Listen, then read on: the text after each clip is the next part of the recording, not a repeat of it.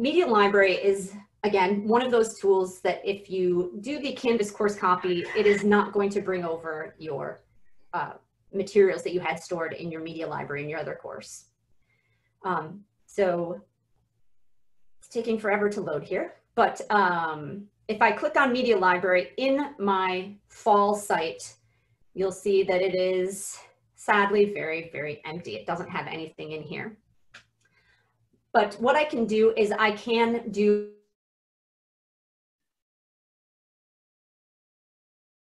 I can't hear. Help. Timberly, Timberly, we can't hear you. Fortunately, I think when this happens, she can't hear us either. on um, take Uh, Really, can you go back um, to the media library things? You cut out again and we couldn't hear you. Sure. Um, so when you want to copy media library content, um, all you need to do is, uh, it will be a separate process. It is not part of the Canvas course import that I already did. When you click on media library in your fall 2020 course site, you'll see that it is empty. And when you're in here, um, I do recommend you come to your fall 2020 site first and take a quick mental note of the title of the folder here at the top. So mine is the fall 2020 TBM 10101 uh, site. So just keep that in mind. And then what you want to do is now we're we're actually going to need to go back to that old course where the files, the media library files are stored. And so I'm going to quickly jump over into my sandbox site, which is where I stored some things. So now I'm in my early course sandbox site. And when I go into media library, it will show I have two files in here.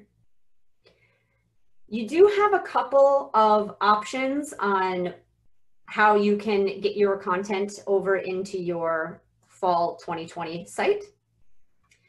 Um, you can choose to copy both of these over. So you would have, you would maintain a copy in the sandbox, and then you would also have a copy in your fall 2020 site.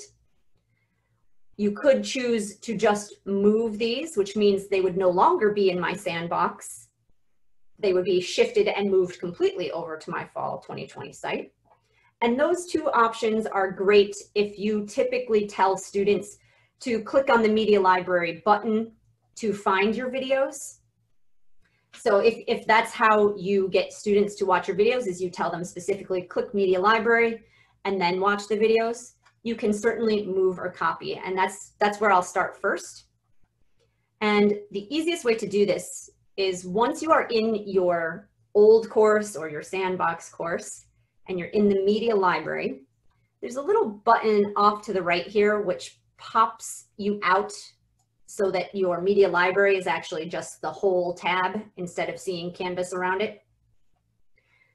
And once you have the whole tab open, when you hover over a file, you'll get a checkbox on the file, which will allow you to pick multiple files if you want, or you could just pick one, either or.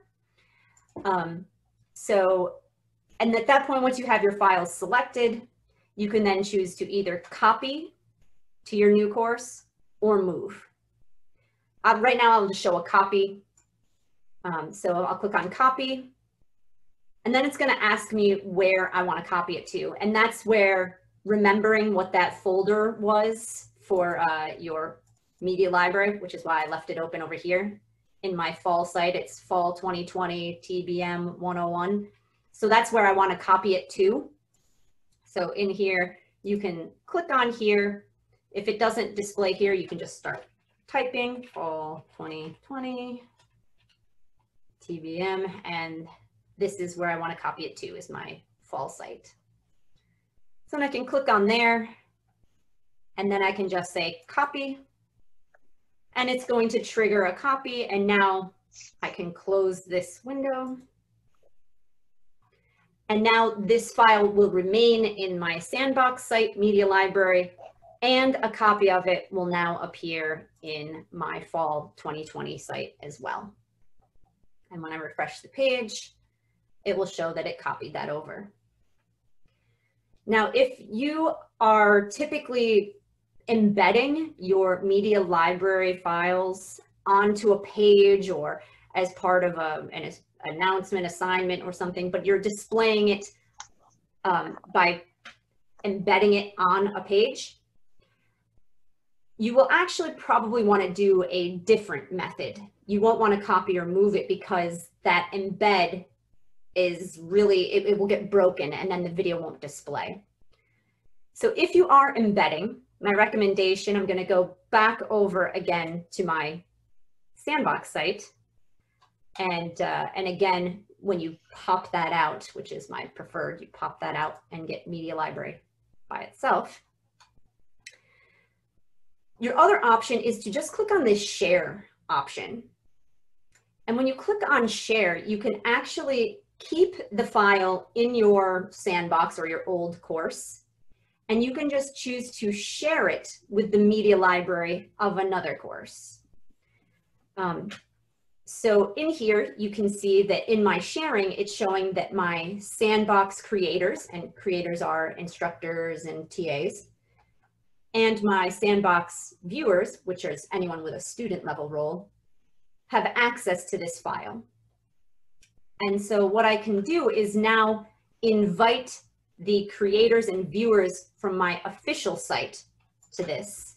And again, that's the key of remembering what your folder name is over here, that fall 2020 TBM 101. So if I type in fall 2020 TBM, you can now see that I have my official site. I have both creators and viewers, and I will want to add both of those. So now I will again start typing TBM 101. So I want to add both the creators and the viewers uh, so that they will be able to see this. And then I will uncheck, I'm not going to notify them by email. And then I'll click on save changes. And then what that does is now this file will remain inside of the sandbox folder, but now anybody enrolled in either my sandbox site or my official fall site will be able to view the video when it's embedded on a page. Um, so that's a lot of information and a lot of, a lot of steps there. Um, so I want to make sure that uh, we open it up for questions, anything that you might be concerned about in terms of the features that we just went through, the, the Canvas course copy and course reserves and media library. I have one for to help clarify what you just showed with the sharing. So you showed how to share a video on a specific video. I imagine you can do the same thing for the whole folder if if uh, everyone wanted to share the entire folder over with the next coming class. Are the the steps that different, or are they pretty much the same uh, process?